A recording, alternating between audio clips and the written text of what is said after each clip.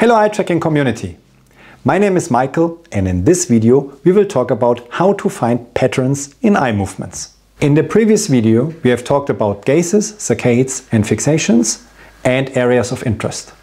And in this video we will bring all of them together and we will search for patterns in eye movements. Here we can see a stimulus from an eye tracking experiment and the task was please state whether there are two bars in this bar graph having the same value and state the labels of these two bars. So what we can see is it's obviously bar B and bar F. And now we're going to using um, areas of interest and I prepared here an area of interest map for us to analyze the eye movements and to find hopefully common eye movement patterns in the data. So the first thing what everybody is doing is we are visualizing the eye movements uh, with heat maps and scan paths. So here we can see the scan path of one participant performing this task.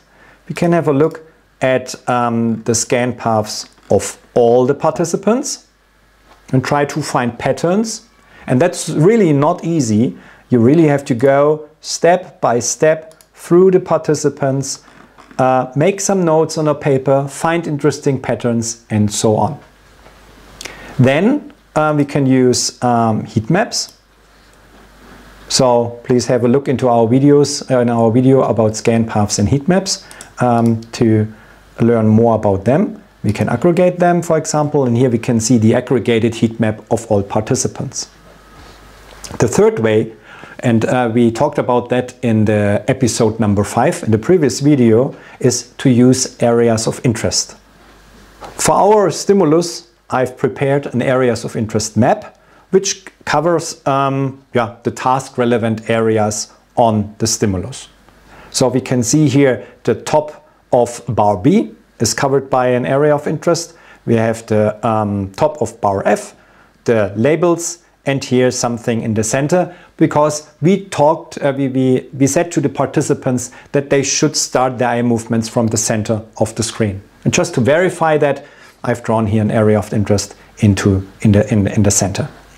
So in the previous video, we also talked about gaze duration statistics. So we can do that here as well. I'm going now to the gaze duration statistics and um, let's have a look, for example, at uh, the green participant.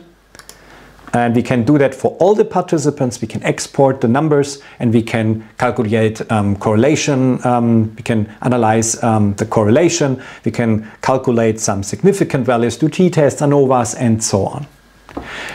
From here, that's standard, what we know in eye tracking research. And from here, we go now beyond scan paths and heat maps and use the features available in BlickShift Analytics to search, for example, for common eye movement patterns in the data. So let's have a look on the transition path of the participants. What the transition path is, I will tell you in a second. So we go to the AOI editor and I'm choosing um, visualizations parallel scan path and I'm selecting here P2 and here you can see how the attention moved over the areas of interest. So what the participant has focused on. I can visualize in parallel where the participant have focused on. So with a um, scan path. And then you will immediately understand what is happening here in the parallel scan path. So this green participant, P2, you can see it on the left side in the scan path, started the eye movements in the center of the screen. That's what we told them what they should do. On the right side, you can see this behavior in here. So we can see that there are fixations on the center AOI here shown on the most left side. So every area of interest which we have drawn here, so center, um, label B, label F, top B, top F, is visualized as columns in the parallel scan path. So we have center, label B, label F, top B, top F, besides the standard eye tracking areas of interest. So eye tracker didn't find, uh, couldn't record the eyes, and none means somewhere else but not on the defined areas of interest. So let's go further. This participant then moved the attention um, over, over an area which has not been covered by, by an area of interest. You can see the green bubbles here on the left side. But then after a while again on the center, and then here, and this is now interesting, um, the attention um, is on the top of bar F. You can see that here with this column and here with the vertical lines going down, time is running from top to bottom, going down here for this time duration on the area of interest top F. After a while, he focused or she focused um, on uh, top B, then on the label B, then um, again here on top F, then somewhere else on the stimulus, moving the attention around, and finally on label B again. This visualization gives us now a good insight into the semantic patterns of this eye movement, so over the areas of interest or what the participant has focused on. We can do that now for all the participants in parallel so I can select all the participants and we can have a look.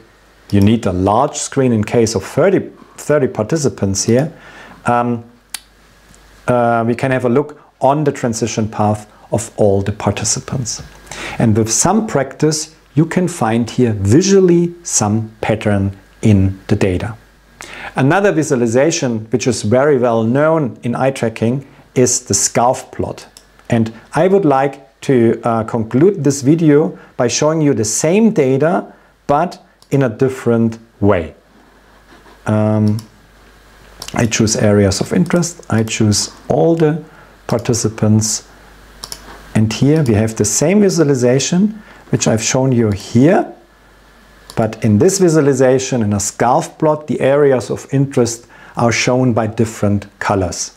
And these colors or these areas of interest you can reach here at the bottom. And when going down, you will immediately see how these um, labels here at the bottom are changing, showing the transition path over the areas of interest in a different way. In this video, we have used visualizations for finding patterns in the eye movements. In the next video, I will show you how you can use the artificial intelligence implemented in our software to automatically find patterns in the eye movements. Thank you very much for watching this video. If you like the video, press the like button or subscribe to our channel. And I'm looking forward to see you in the next video.